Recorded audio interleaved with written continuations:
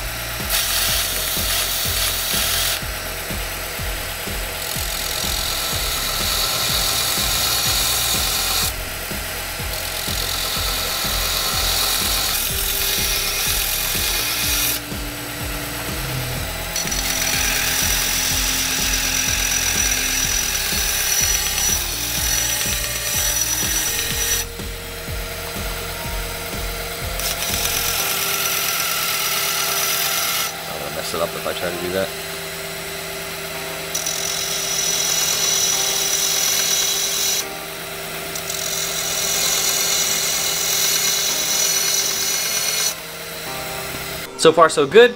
Details have really started to take shape, but I'm having trouble getting on the inside to do the undercuts on the inside of these just because that sander, the way it's set up, the arm's kind of in my way and the wall's too close. So now I'm going to move over to the big sander and uh, do some more of my undercuts and do all the finish work back over on the smaller sander.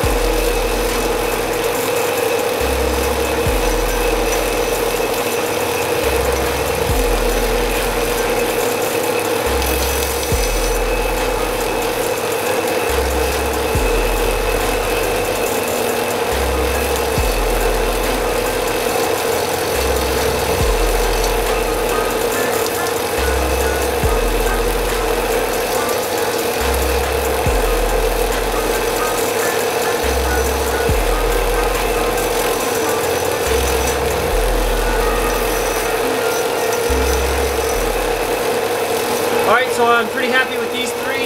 I still have to polish them out and kind of refine the shape. So now I'm just going to start on this last notch. And the shape of this is more like a wave. So I'm just going to round it all over and then we'll start doing the undercut by hand.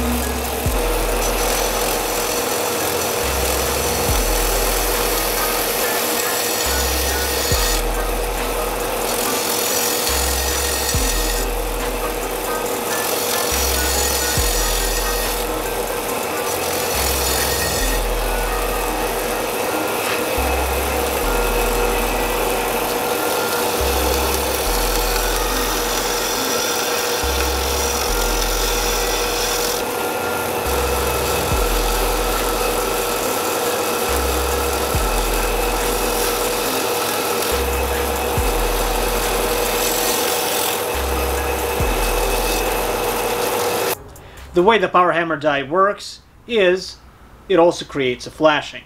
Now, before I continue forming the rings, I have to grind it off but preserve it right here. If I don't preserve it right here, me bending the rings will funnel the force into the weak spot and it will be unpleasant. Now, what I'll have to do is use a fairly rough grinder and remove stuff here and here, keeping this.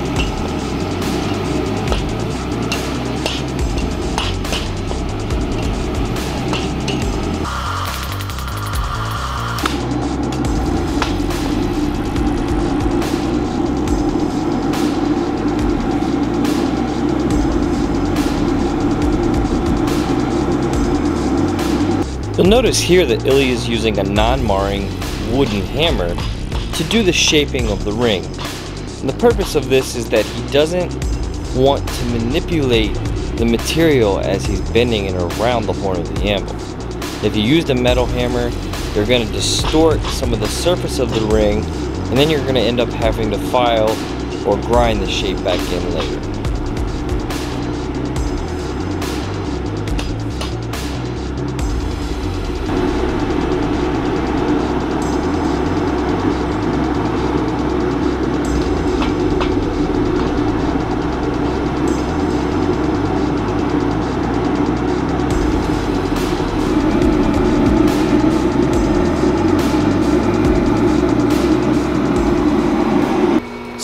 Move on to doing any more work on the guard, there's one final thing we have to do to the blade, and that's tapering our tang. One thing that I think a lot of blade makers forget that's very evident in Japanese blades is the very thickest part of your blade should be your shoulder area, tapering out to the point and tapering out to the tang. And that's for twofold. One, when you're fitting your guard nice and tight, you want it to fit very snug right here at the shoulder. So you want that to be the thickest point. So when you drive your guard on, it's nice and snug. The second reason that we taper the tang out is actual shock distribution on a sword blade. So when you hit a target with your sword blade, the shock is sent down all the way. If the thickest part of your blade is at your shoulder, that shock is going to distribute evenly all the way out through the handle of the pommel. If there's a thin spot right here at your shoulder, that shock's gonna stop right there. And that's often why you see swords with broken tangs right at the shoulder. It's because there's nowhere for that shock to go. It stops right there and just snaps your tang right off. So I'm gonna move to the sander right now, taper my tang all the way out, and then we'll be able to fit the guard nice and snug and everything will be ready to moving on to the next stage.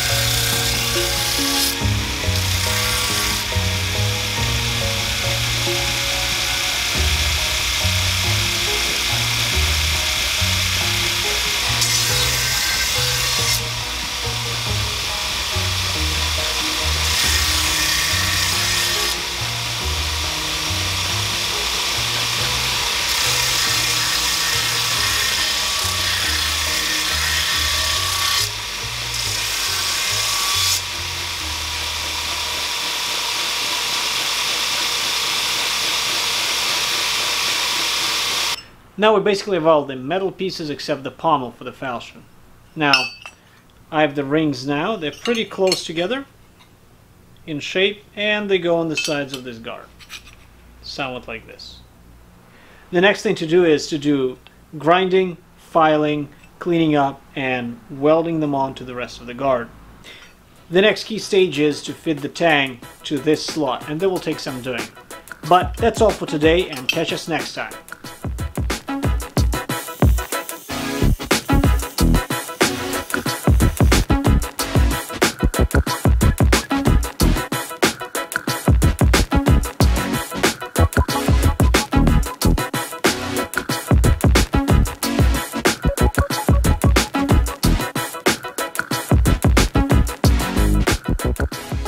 Thanks for watching part 4 of our falchion build for Skallagrim. If you liked this video, be sure to give it a thumbs up and tell us in the comments below if you have any ideas for more collaborations with That Works in the future. And as always, please consider subscribing to the channel.